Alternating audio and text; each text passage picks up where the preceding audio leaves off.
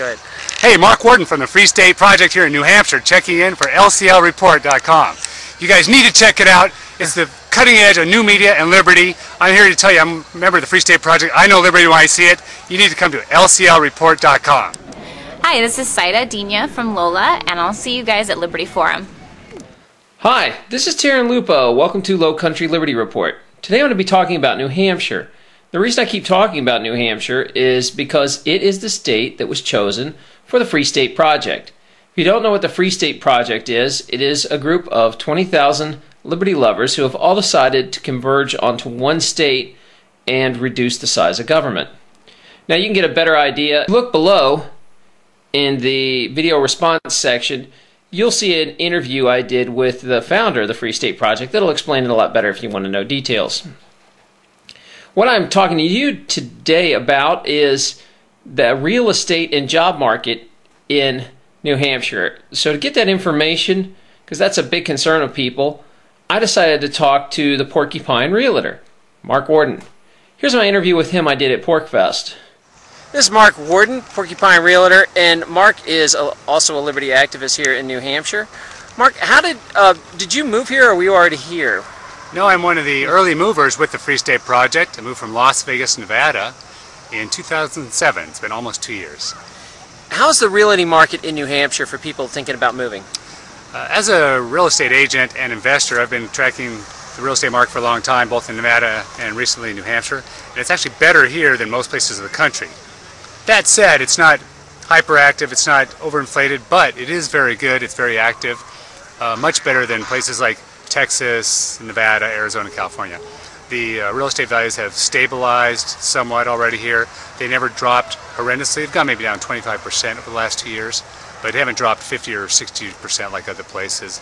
And because uh, the unemployment rate is relatively low in New Hampshire compared to other places, you still have a demand for uh, real estate and prices have remained fairly solid.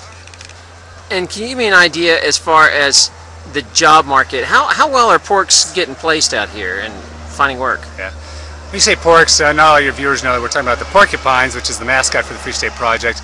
And porcupines overall are sort of enterprising and self-sufficient to begin with. So not all of them come here expecting to get a job right away. A lot of them come with money saved up, or they know that they can work an honest day's labor for an honest day's pay uh, to pay the bills. A lot of them will live temporarily with other Free State Project volunteers and members and friends, live for uh, free or inexpensively until they land that job and decide where they want to live in the state.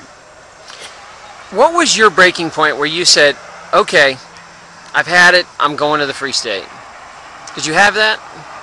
Or was it gradual? I didn't have an aha moment. Uh, I had an aha moment a number of years ago when I became sort of libertarian, which was then I had to pay Uh, in federal income taxes at one time. You know, most people just pay a little bit every two weeks or every month with their paycheck, right? So the, that's the beauty and the insanity behind the IRS systems. They chip away every couple months. You don't really notice if it's always 100 bucks here and there. But when you are not an employee and you become an independent contractor, you have to pay one check one time at April 15th. And that was it. I said, oh my God, I'm paying all this money to the federal government and all they're doing is going to kill brown people halfway across the globe. They're not doing anything for me. I have no kids in school. I don't use public transport. What the hell am I doing paying all this money? I said, that's what got me interested in downsizing government, reducing the cost, and uh, that was the start of this long, slow progression of becoming a libertarian, eventually finding about the Free State Project, eventually moving to New Hampshire. But for everybody, I understand it's a different uh, trigger that gets them here. For a lot of people, they have to have a job first. A lot of people, they will lose their job where they live now, and that's their trigger. Say, now's a good time to move. Some people worry about schools, that sort of thing. So it's different for everybody. But I've landed in Manchester, New Hampshire, and it's it's been great. I got into the real estate business right away. I knew it, and I've been very successful working with not just libertarian and free stater clients, but uh, just regular clients I meet through my, my circles in town.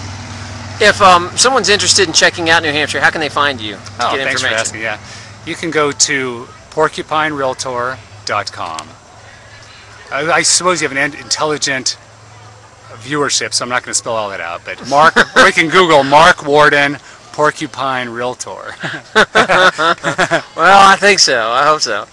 All right. Thank you very much. Thank so you. I hope you'll give the Free State Project a look, and don't forget Liberty Forum's just right around the corner. You might want to sign up for that at least to see what the people are like and get